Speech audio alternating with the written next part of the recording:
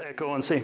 All right, well, I'm really excited to be here because opportunities like this always give me an opportunity to sit back and kind of evaluate where I am because I'm going to sit and talk about a lot of stuff and I need to kind of do a self check and say, does what I'm talking about, am I applying this in my life?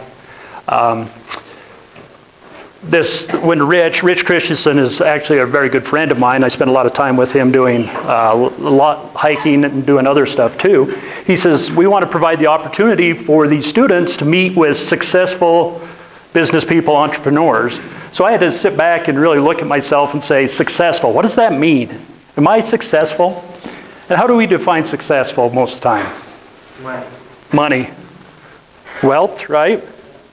What else? Power? There's a lot to it. So when we sit back and look at that, and I say, Am I successful based on that de- definition? Wealth and power.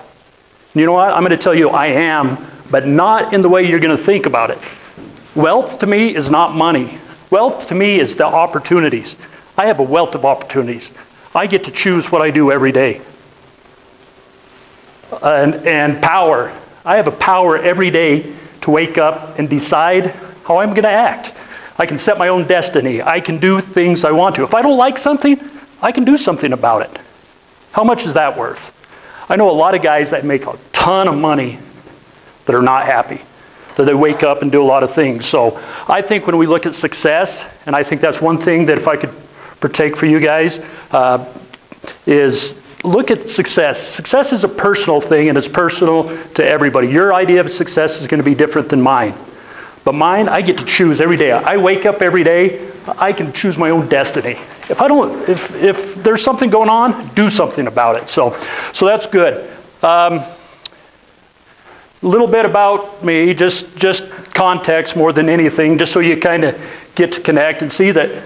Bottom line is, I'm no different than you guys. I was here 20 years ago, 25 years ago, going to the University of Utah, uh, trying to figure out where I was. So I'll tell you a little bit more about my story and how I ended up there first. But a brief introduction. We already introduced Millie, who is my best friend. We uh, actually met fighting forest fires. We both were on wildland, wildland fire crews. So if you can find a girl that can hike and swing an axe and a shovel and get dirty and grab her, I'll give you that advice.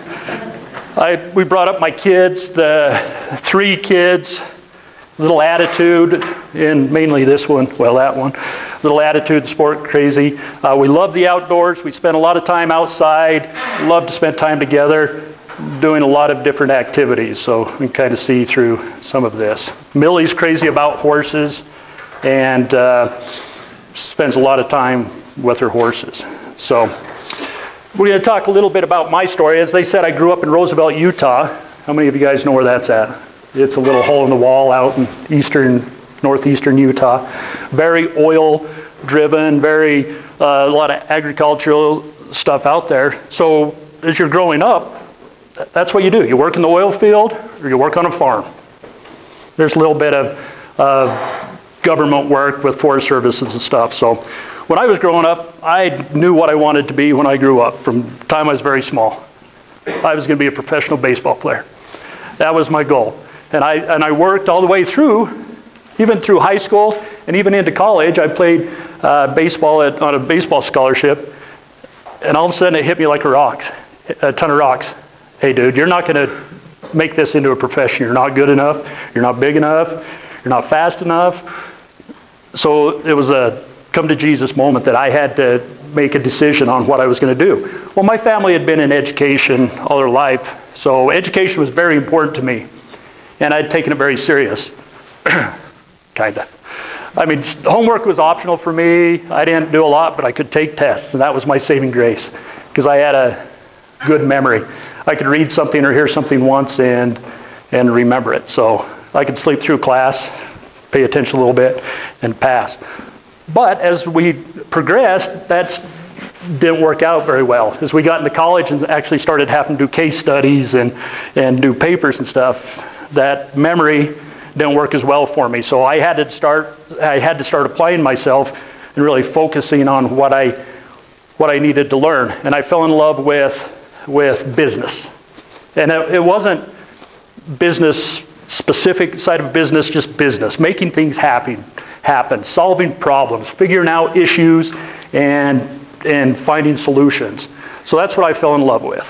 So what did I do? I chose to go into accounting, probably the least, least uh, thinking, creative area of business. But I'll tell you right now that accounting is, for me, the, the basis of my success and why I am where I am. Because if you can look at a financial statement or look at a uh, costing of something and truly understand it, you can make good decisions.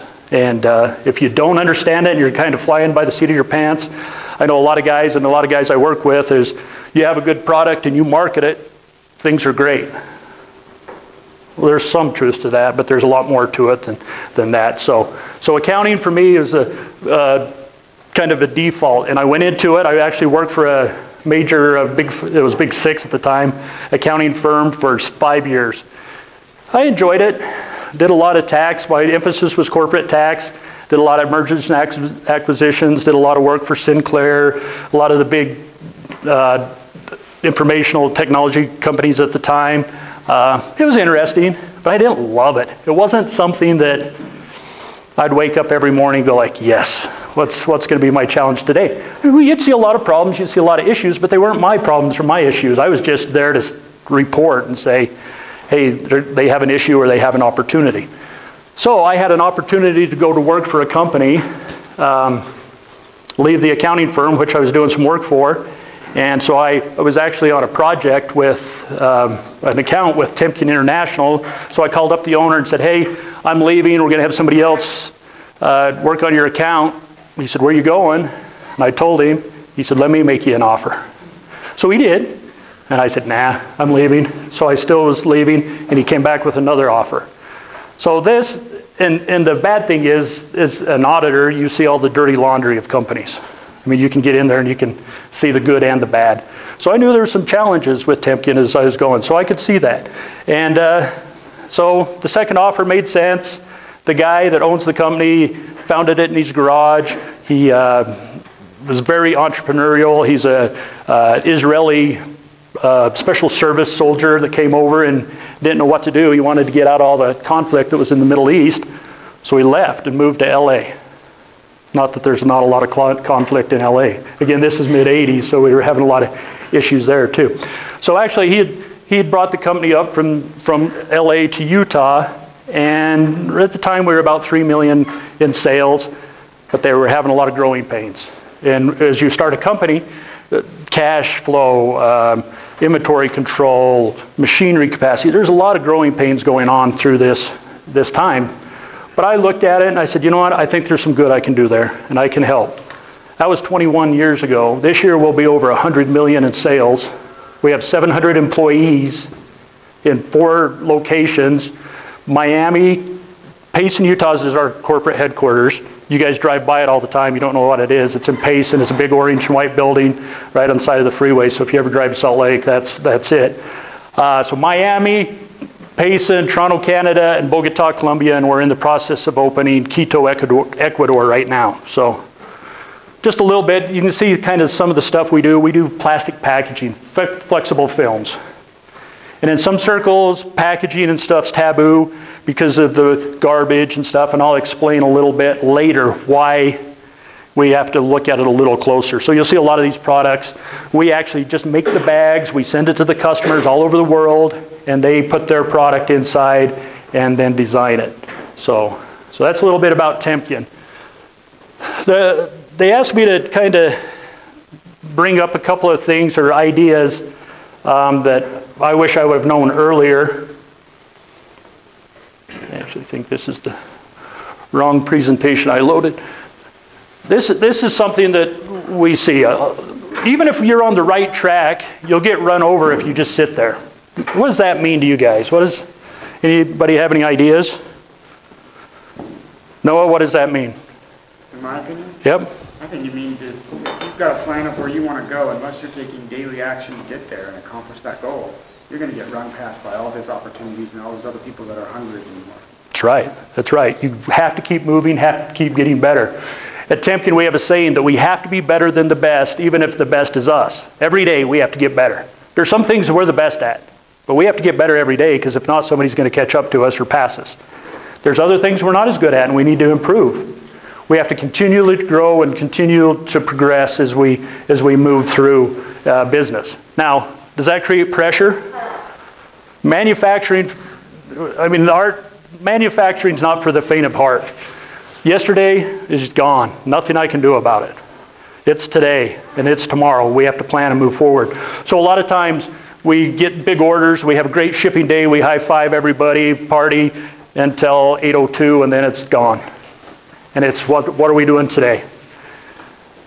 That's hard. That's it's just that constant pressure, that constant grind. It takes a special person to be able to to handle that and just like let it go and just really grow.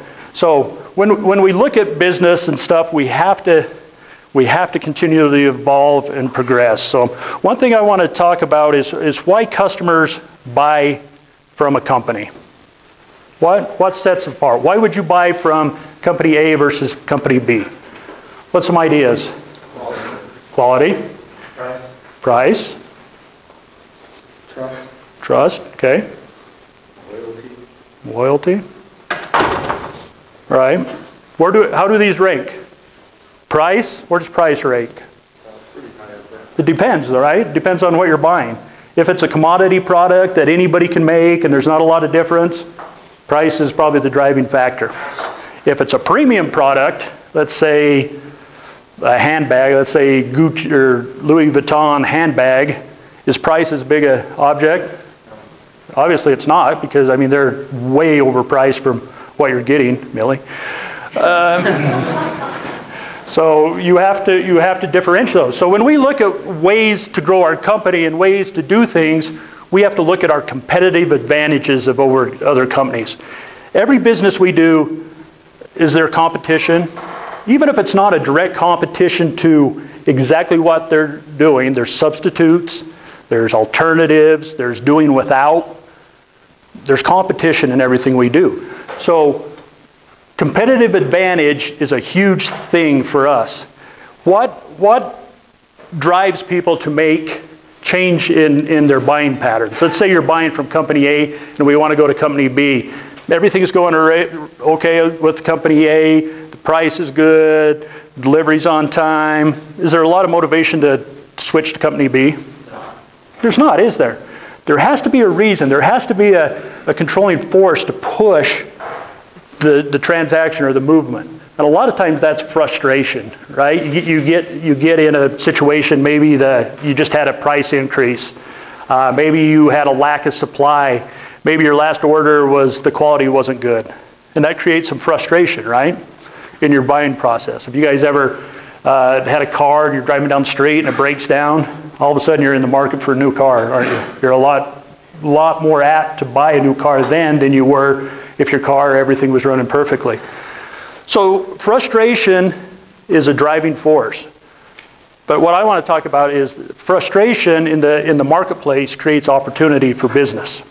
And that's how we can grow and progress and uh, keep moving is by identifying the frustrations, what's causing the frustrations, and, and capitalizing or exploiting those, those constraints that are causing the frustration.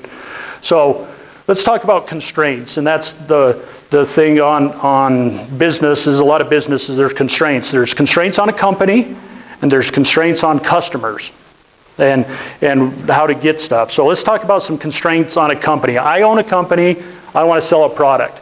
I have all the business that I want, but I have some constraints that I can't get the product to them. What's some of those constraints? What do you think some of them could be? shipping, shipping Shipping costs. I mean, just distribution channels, stuff like that, shipping. Especially if it's international. Right, there's a big problem. Taxes, On the other end that you don't expect. right? Regulations. Production capacity. Production capacity is a big one. Labor, Packaging. packaging, that is, and we'll talk about that, that is, because there's some components of that. What else? warehousing, geographic location, energy costs. There's a lot of constraints placed on companies, right, that, that provide product. What are some constraints placed on customers that, that want to buy? Salary, okay, customers, they want to buy. They want, price is too high. They have a product they want to buy, but the price is too high, right? What else?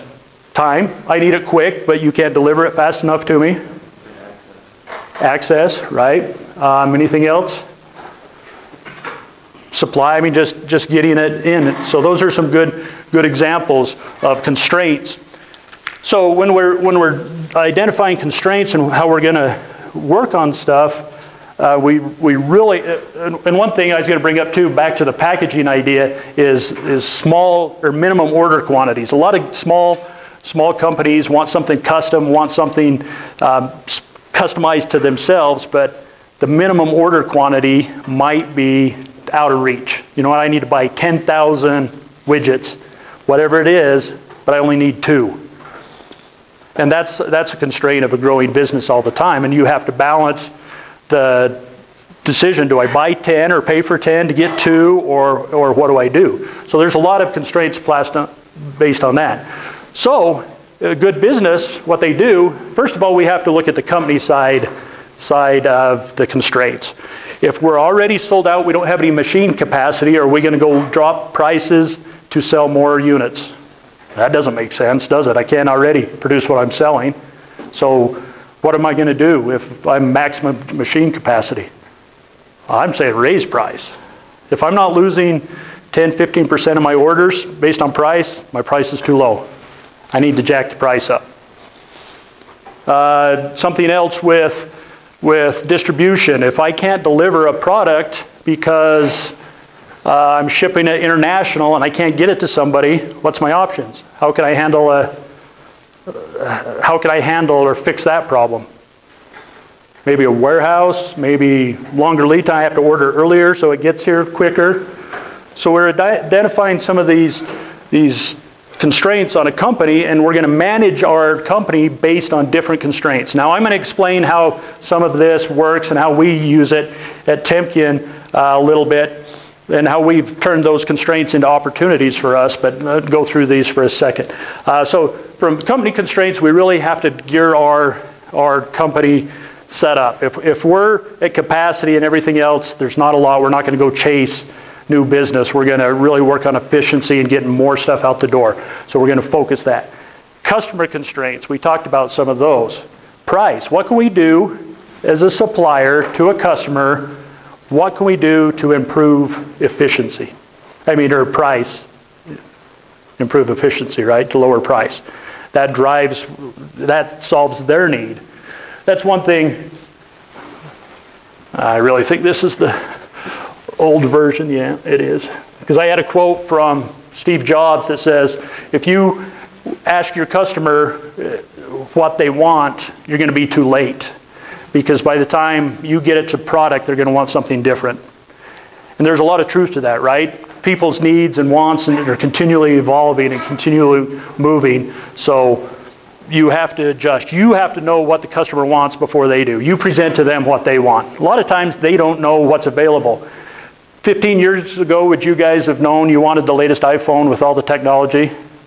If you could do Google Maps or anything in your hand, or, or we wouldn't have known we wanted that because we didn't know it was available. So the innovation and stuff, they were forthright and forward thinking enough to know what, you know what, the technology is there, people will want it. So with customers, we need to be able to understand them, understand their needs, understand their pains, and turn that into a business. Does that make sense to you guys? Sounds, sounds easy. It's, it's not that easy most of the time because you have to really get to know and get customers and have a good enough relationship with them that they'll spill their guts. They'll tell you where things hurt. You know what? Your price is 20% too high. They tell us all the time. Well, is it? Is it all price? I mean, yeah, you can get it from somebody 20% cheaper than us, but they don't deliver half the time. Lead times are six months. We, we run into that in Asia a lot. I had a slide of a big uh, ocean container on fire, and it said importing Are you still waiting for your ship to come in? And that we have that hanging in our, in our front lobby because uh, imports is a big competition for us. And there's a lot of logistical nightmares when you start importing and putting stuff on a boat. A few years ago, we had dock strikes in LA. You guys probably don't even remember that, but there was a lot. There was over 200 sea containers in the Long Beach port that the, the longshoremen would not unload. So normal lead times went from eight weeks to 24 weeks. And right before Christmas, people were planning on, on this product to resell, and it was sitting on a boat in Long Beach, and they couldn't get it unloaded. Out of our control. We can't do anything about it. But for us, that was an opportunity to jump in and turn things around quickly. So, so let me give you a few examples on Temkin and how we've turned some of the constraints into, into opportunities. I'm going to start with, well, I'm, I'm going to start with our warehouse with inventory. So this is Temkin. You guys drive by it all the time. You've seen it.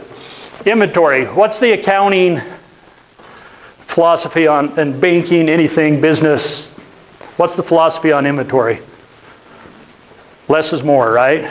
Just in time. Keep it bare minimum. Keep just what you need and move it. We're totally the opposite. And this is where we go against the grain. The biggest, the biggest advantage we have over Asia or anywhere is time. If Asia can do it cheaper, they do a good job, quality for the most part. There's good companies, bad companies, but they do a good job. We can't beat them up. But it's time. That's our advantage. Geographic location. They have to put stuff either in the air or on a boat. In the air is expensive.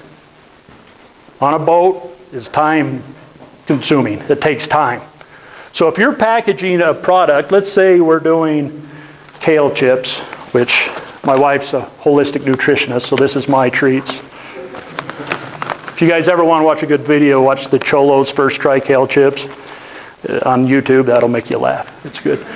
Uh, so, kale chips. So all of a sudden, Walmart, let's, let's, cost, let's go Costco because I like them better. Uh, Costco um, wants to run a special on kale chips. So I have the product, but I don't have the packaging.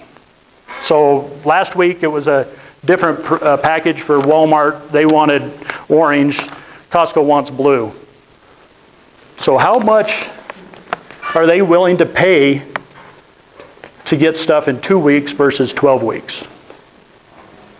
More, right? There's a premium. There's a value added, a service added by supplying the product quicker. So we do this all the time. Our niche is we, we preach 21 days. 21 days from the orders placed to the products delivered. You don't realize how much goes into making a plastic bag. Looks pretty simple. You put some ink on it. You, this is actually like 15 to 16 processes to make this one bag. We have to slit the material to the right size. We have to, first of all, the graphic design, the plates, we have to make the medium to actually put the ink on. We have to get the right material. We have to enter the orders. We have to uh, match colors. We have to uh, print. Then we have to laminate, take two different kinds of plastic and glue them together. Then we have to slit again. And there's just, then finally make a pouch, put a zipper in. You have a finished product and send it to the customer. 21 days. We don't have time to wait for material in that circumstances. So what we do is we have it on the floor. We can go pull it. It might not be perfect, it might not be the right size, but we can charge a premium for that. So we're not looking, when we do our year end analysis and stuff, we don't look at inventory turns, which is kind of contradictory to most, most accountants and everything else. We're looking return on investment on our inventory. We treat it like a machine or another asset. We're not looking at how fast we're turning it. If we can make money by having it on the floor and we win some and we lose some, as long as we win more than we lose, we're ahead. So inventory management is one of our big, big advantages. Uh, also, we talked about innovation and stuff as we're trying to be more efficient.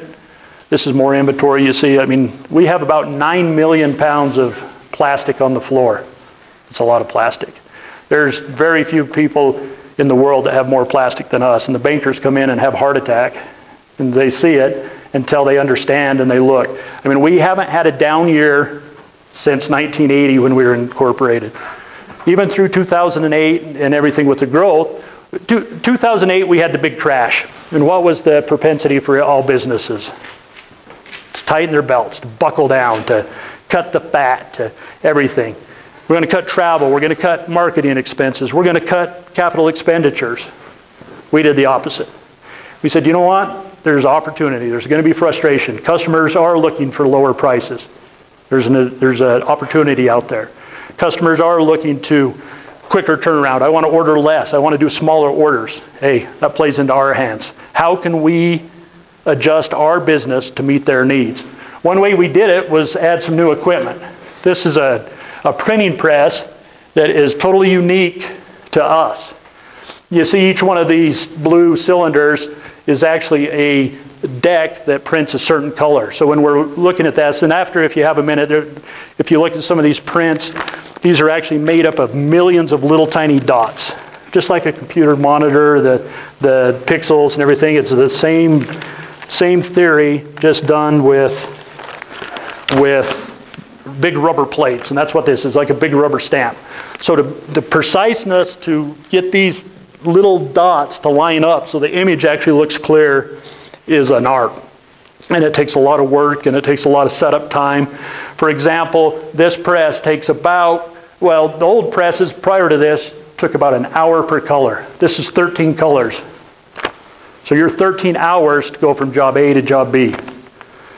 There's a lot of time. This machine's worth about 4.5 million. We value the machine time. We need to be netting $500 an hour. So if you're at 13 hours times five, what's that, $1,800? $6,500, that's better. Yeah, so that's a lot. You have to be churn, churning that through to get $6,500 just to add it to the cost before we even turn the machine on before we put any, or any material or anything in. So what we did is went and reinvented the wheel. This machine takes about 10 minutes per color to set up. Just because the way it's designed and the way we adopted things and everything else. Does that make a difference? Now those big long runs, I don't have to amortize. If I'm doing 10,000 bags, I can amortize the $1,500 versus the $6,800 over that 10,000 bags big price savings, big difference. So just by innovation and kind of looking at machines, collaborating with our suppliers, expressing our constraints and what we needed to our suppliers allowed us a competitive advantage in this, this case. A few more pictures of that and we'll show you a little bit of inventory and stuff. That's what a lot of stuff we go out the door is not actually in pre-made bags. We send it in roll stock so customers actually can convert it and make it into products. Okay, second item, we talked about produce, green beans. Who eats green beans? We all eat a few, don't we, if we have to? I have to eat a lot again. So, green beans, the, the normal market, uh, we grow a lot of green beans in Utah in our garden, but the harvest period's what, mid-summer? We kind of pick them in June, July. Most of our produce comes from the Salinas, California area. Uh, uh, they call it the, the Imperial Valley and stuff over there. They grow a lot in that area. Also down around Yuma, Arizona. Um, the, the salad belt's what they call it.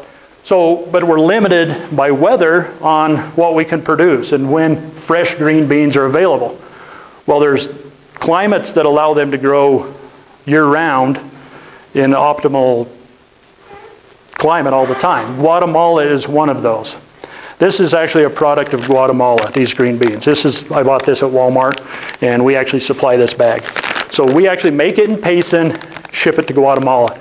Prior to us packaging this, uh, they'd send it in bulk. Big containers, big gaylords full or bulk bins of full of, of green beans. Well, the shelf life on that from, from harvest to where you had to throw it away was about 14 days. That's pretty short, right? And I have to ship it from Guatemala to get it to my supermarket to display it and take it home and eat it.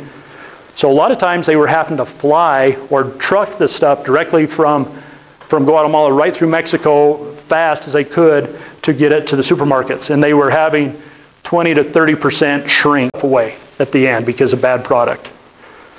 So there was some big constraints. It didn't make sense. A lot of the, the cost was too high to air freight stuff. So the, the Guatemala green bean market, they could grow a ton, but the constraint was delivery and the distribution channels. They just couldn't get it to market fast enough.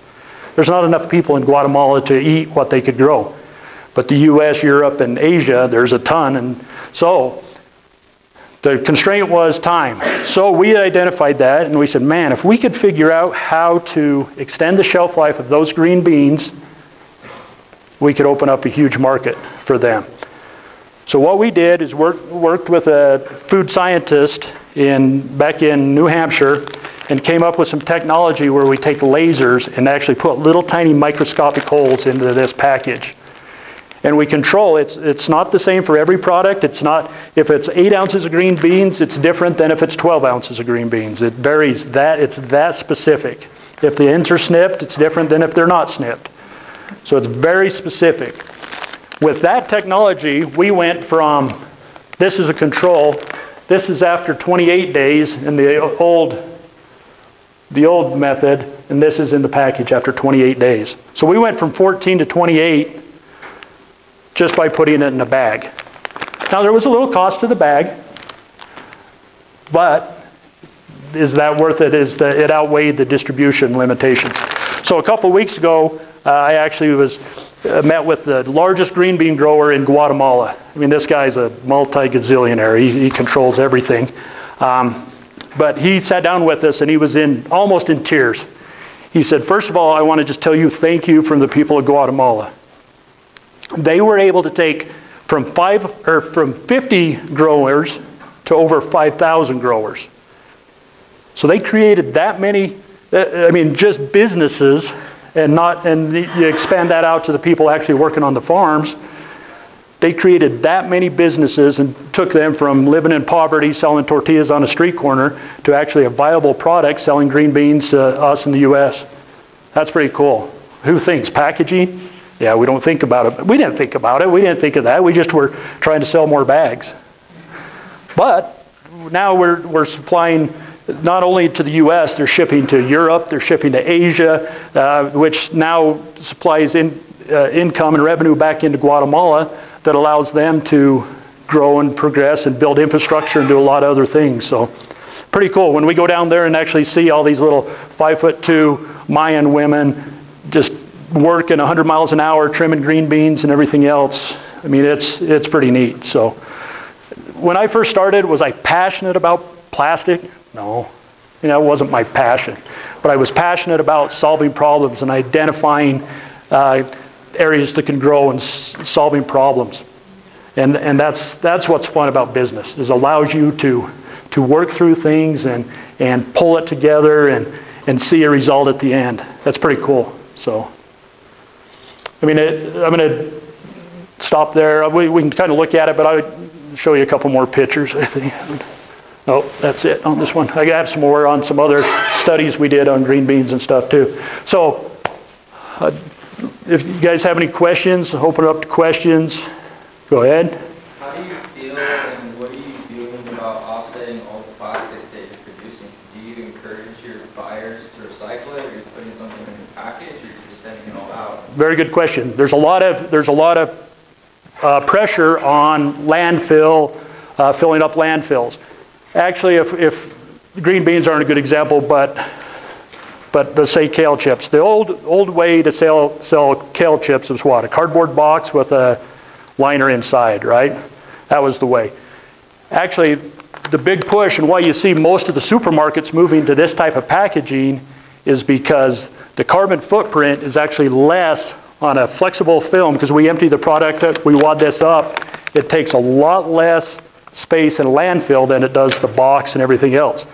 Paper is, a, is, is a lot of people go back to paper and say, okay, paper is a better alternative. If you go to a landfill, paper doesn't even biodegrade in a landfill because it has to be lined so it doesn't leach, it doesn't do anything. So they're digging up or, uh, landfills from 50 years ago. The new newspapers are still eligible or legible because they just things do not break down in landfills.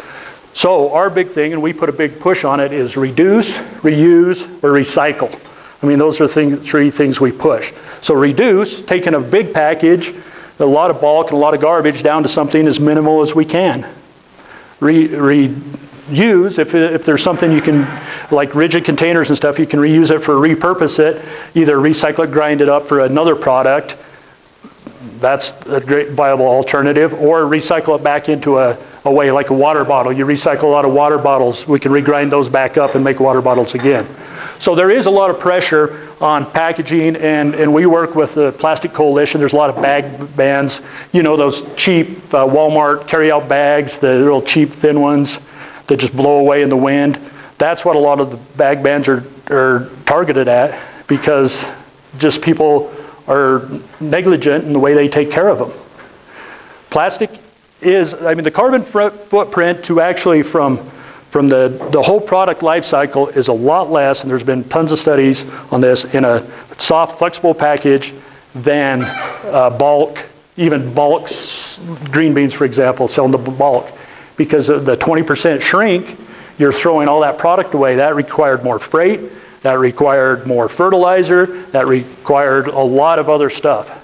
Is it the golden ticket and answer? No, and we're continuing working to improve it right now. We're working on biodegradable films. But biodegradable films, then you have to use uh, polylactic acid, which is, which is a corn uh, byproduct. But there's a, it's all GMO controlled corn, and that's a bad word to these two over here. Uh, GMO, so nobody wants to, like Whole Foods will not touch it because it's, so.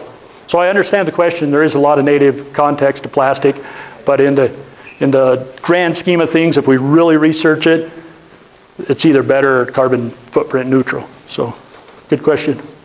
Go ahead. You said you treat your inventory as like a machine. Uh, do you depreciate that inventory like a wood machine? No, I mean you don't depreciate because that's the uh, GAAP rule. You don't have to depreciate it, but you're we're looking at the rate of return, and and there's value as it sits, and we, I mean, and there's a cost to holding inventory, storage, everything else. So you have to account for that. Either expense it or under two, section 263A, which is an accounting code, you have to actually increase your value for tax purposes for inventory and overhead and all this.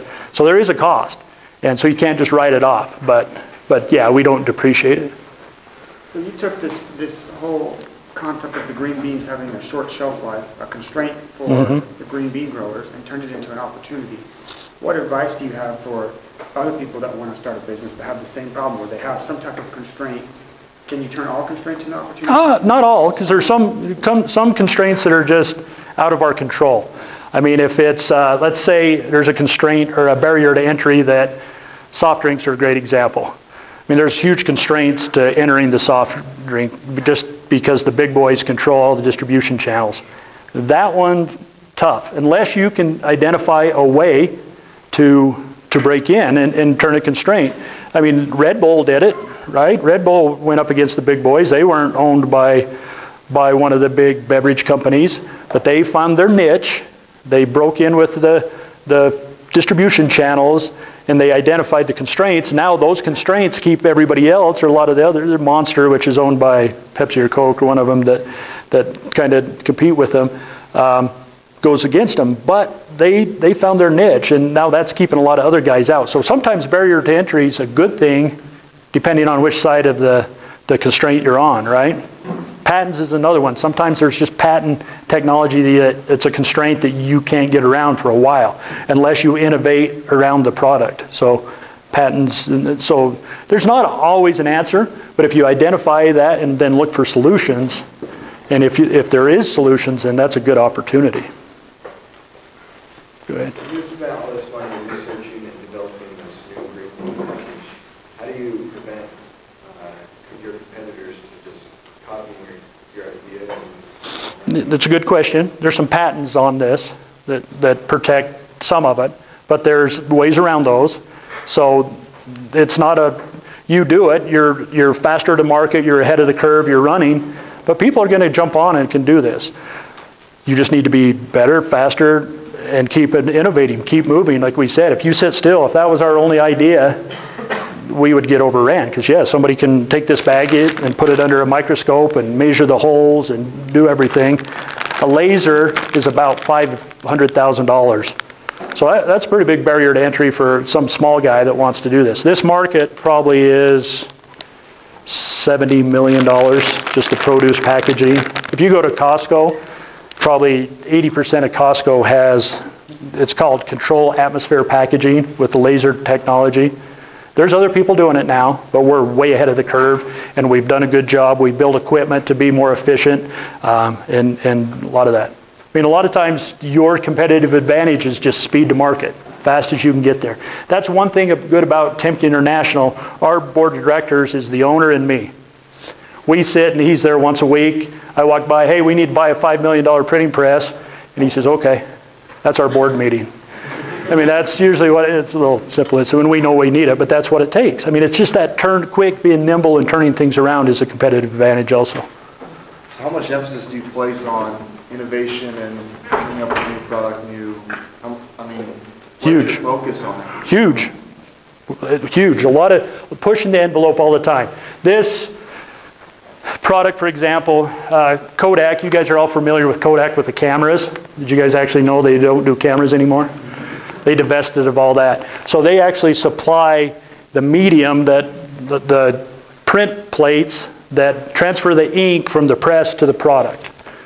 We're their beta site, we're testing everything, we're pushing the envelope on everything we do. So we spend a lot of time and, and energy innovating on, on higher print. For example, this, this job, if we look under a microscope and we look, the print definition in one inch, there will be 175 lines of dots in one inch, which is pretty good, pretty amazing uh, to get the definition. Most printers are doing 120 to 130. That's just their technology, and that's where we're at. So that's 175. This is actually a trial run that we ran with Beta. This is 240 lines per inch. What does that mean? Depends. I mean, it could be cool if you got a high-end graphic. If you're doing something like this, it means absolutely nothing. So innovating and finding markets that it makes sense to have this high-end graphic. Somebody that wants to display and set themselves apart. I mean, if you walk down a granola aisle and you see this versus just a bag with a sticker on it. Which one are you going to buy? Same price. I mean, you're going to look at it. I mean, this is going to catch your eye, and you're going to. So you have to go out and sell it to your customers too. And hey, I can differentiate you on the supermarket shelves. So we spent a lot of time and effort in business development. I just got back from Germany Saturday over there looking at new machinery, uh, new innovations, new technology, anything we could find, and developing that. So So if you were to put a percentage of your time going towards looking at simply new innovations and ways to push forward your company and keep it in the, you know, in the clear, and Mhm. getting ran over, what would you say? my, my time, my time is probably 60%. We have other people that are 100%. That that's their job, business development. They're out there looking for new ideas, new materials, new machines, new something different, identifying problems. Hey, we're having an issue with, a good example, dog treats. You notice this is plastered with made in the USA? Dog treats, whatever. A few years ago, we had a lot of problems with uh, dog treats coming from China had melamine as a filler, which is a plastic, and they killed a bunch of dogs. So a lot of the big chains mandated that the product had to be made in the USA.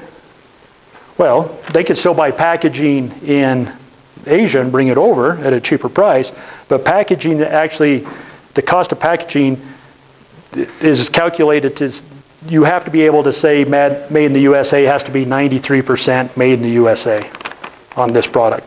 So there's some things they had to buy outside, some additives, fillers, stuff like that, they had to add. So we saw an opportunity in the dog treat market, hey, people need stuff and they need it quick. And we capitalized that and really targeted at that, so.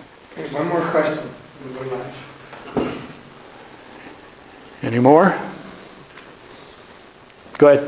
You, do your, do your customers do all their graphic design, or do you do a lot of it? We have a full in-house design team. That's another value added. That's another constraint that we identified that we provided for the customer. Because a lot of times these small guys that, that are just starting a granola company or something else don't have the capacity or resources to go to one of the huge design firms.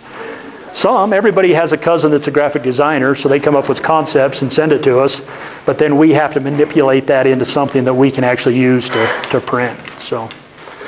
Well, thank you guys very much. I know this is kind of vague and it doesn't, but just the, the concept of identifying constraints and turning those into opportunities can really help, help grow your business. And if you guys ever need anything, I'll leave my information and you can feel free to contact me anytime for anything, so. So here's our Awesome. Thunderbird for our, Awesome, for uh, being our speaker. We sure appreciate it. Great, well, thank you. Thank you for your time.